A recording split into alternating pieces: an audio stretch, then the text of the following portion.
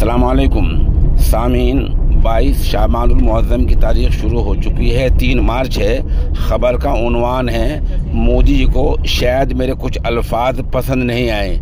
ये कहना है मोहतरमा प्रिज्ञा ठाकुर का। दरअसल 24 घंटे पहले बीजेपी ने जो अपने उम्मीदवारों की लिस्ट फहरिस्त जारी की है, उसमें प्रिज्ञा ठाकुर का नाम नहीं आया है।